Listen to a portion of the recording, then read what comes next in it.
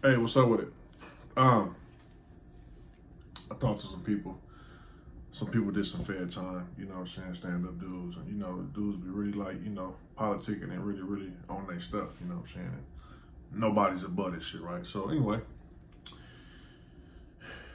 somebody brought up Big Meech. And he was like, uh, yeah, Big Meech got charged with 848. I'm like, yeah. I said, didn't he take like 30 years or something like that? He was like, it's for their whole life. I said, but yeah, you could plead guilty and, you know, and, you know, they say all the time. He was like, listen, once they cover they cover everything, cross their T's, dot their I's, and they come get you for 848, they don't need nothing from you. I said, bro, just like when, you know, you, you go to court for something and you plead guilty because you saving them taxpayers time for courts and process and stuff like that. He was like, no, it don't work like that in feds. He said, go look it up. I said, all right, I look it up.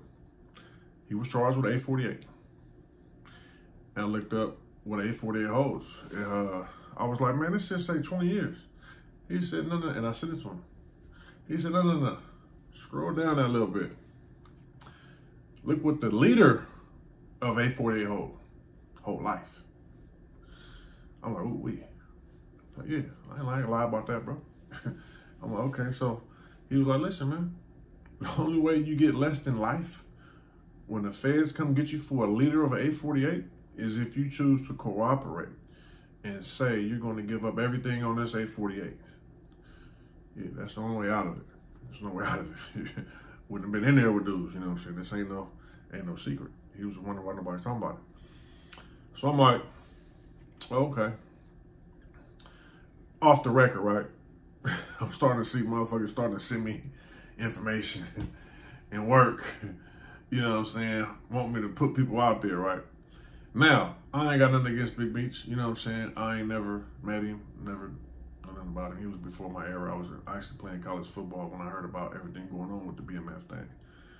And I was just, you know, look up to them, and I looked into them and found out about it after they got caught. I found out how much money they was getting and what they was doing with the artists and the music. I was like, dudes make money, you know what I'm saying? Like, in the modern era, you know what I'm saying? Like, not like in the back in the day with the, the Frank Lucas era and all that shit. Well, I heard he made some statements too. That's a whole other.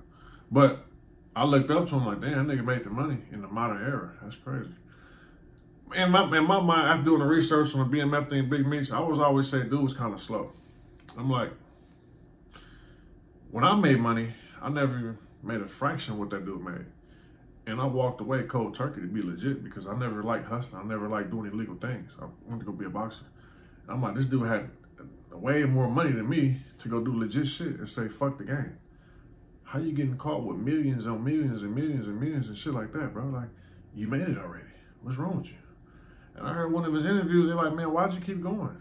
You addicted or something? He said, you're just addicted you can go pick up millions and millions and millions. That's addicting. I said, you got a problem, man. I'm not addicted to nothing, nigga. I had a million cash and walked away, nigga. I didn't give a fuck, and I wasn't enough to do nothing. Anyway, you know, back to the subject. Yeah, so they saying for him to get less than life for being charged with the leader of an 848, he had to cooperate. This is what they saying. I'm not going on record saying it because I don't know yet. But I've been hearing some stuff about his name. So I'm going to do my research. Y'all do y'all research. And let's see. Now, he's a public figure. You know what I'm saying? Uh, right is right, wrong is wrong. let's get to it.